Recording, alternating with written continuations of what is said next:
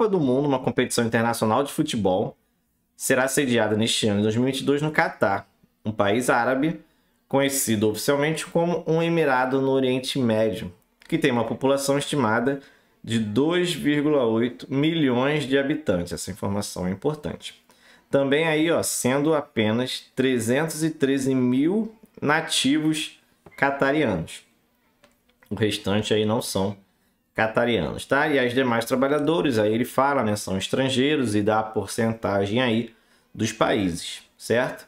E aí ele pergunta, ó, com base no texto acima, a relação à população total, em relação à população total do Catar, o percentual de nativos catarianos é aproximadamente igual a quanto?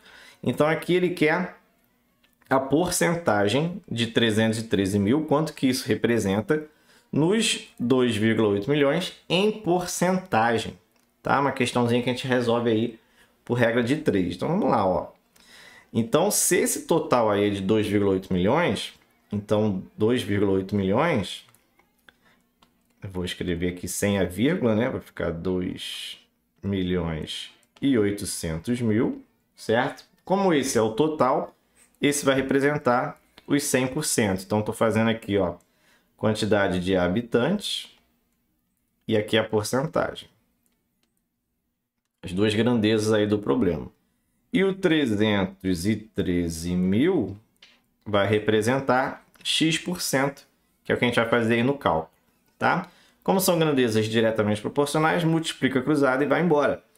Então aqui eu vou ter ó, 2 milhões e 800 mil vezes x igual a 313 mil vezes 100. Isso vai dar 3 zeros, mais os dois zeros do 100, isso vai dar 31 milhões e 300 mil. E aí o valor do X, né, a porcentagem que eu estou encontrando, eu vou pegar esses 31 milhões e 300 mil e vem dividindo aqui por esse 2 milhões e 800 mil, certo? E aí para facilitar a nossa vida, posso cortar ó, 3 zeros com 3 zeros, posso cortar ó, 2 zeros embaixo com 2 zeros em cima e tem que fazer aí 313 dividido por 28, tá? Uma, uma divisão aí é, direta, né? 313 dividido por 28. Como ele quer uma conta aproximadamente, eu não preciso fazer essa divisão com todas as casas decimais, né?